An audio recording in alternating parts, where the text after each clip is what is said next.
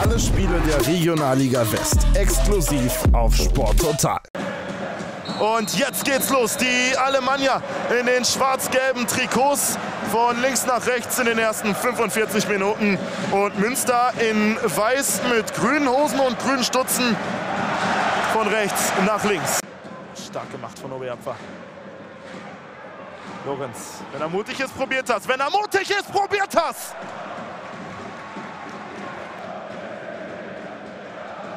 Langwitz. Da spielt sie gut. Für Münsteraner alleine jetzt in der Box bei Aachen. Lorenz, immer wieder Lorenz, der gesucht wird. Und da ist das 1, nicht das 1 zu 0. Gucken wir nochmal drauf. Oh. Ja, den muss er machen. Weiß nicht, ob ihr den Blick gesehen habt, das war auch so ein, oh Gott. Gegen Wattenscheid, gegen Lippstadt, das die ersten Minuten, dass man sich da mal ein bisschen schwer tut bei Preußen Münster. Und ja, man tut sich schwer, weil man auch dann das 1 zu 0 fängt. Aachen führt. Der erste richtige Torschuss der Schwarz-Gelben. Direkt drin. Ball ist frei und die Hand geht hoch von Bayritsch. Was machen sie? Was machen sie? Sie machen es richtig gut. Und die Fahne ist oben. Nicht das 2-0.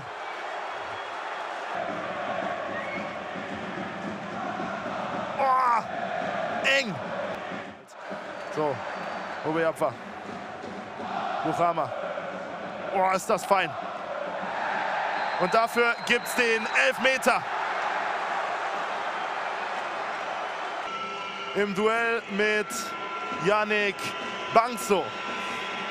Preußen Ausgleich oder Bangso Heldentat.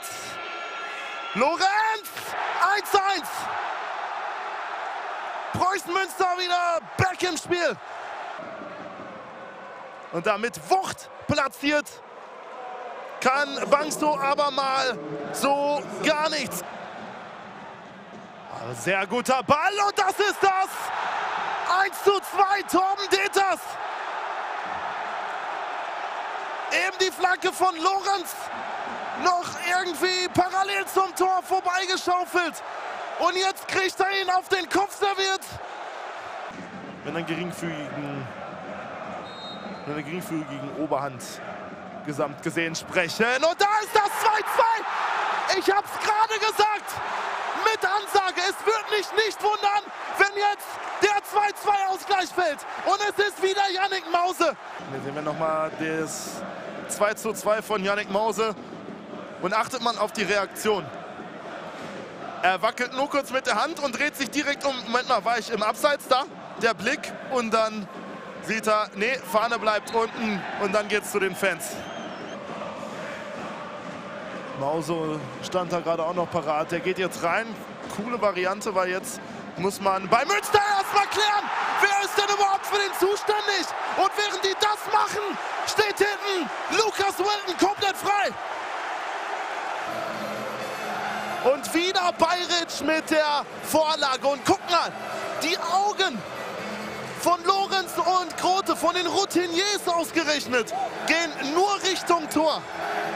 Jetzt seht ihr Keiner hat den Wilton auf dem Schirm, der von hinten reingeflogen kommt. Konterchance Alemannia. Bayritsch. Sieht Ramay, kein Abseits. Eli Ramay, da wird gestört und macht trotzdem nichts. Dann wir es also. Dran vorbei. Und dann ist er noch auf der Linie wieder fit ist. Wenn jetzt noch nicht ganz für eine Startelf-Platz gereicht hat, der wird jetzt gleich kommen. Henok Teklab! Ramay. Über Umwege legt er sich den selber vor. 4-2, Eli Ramay. Der Tivoli steht Kopf.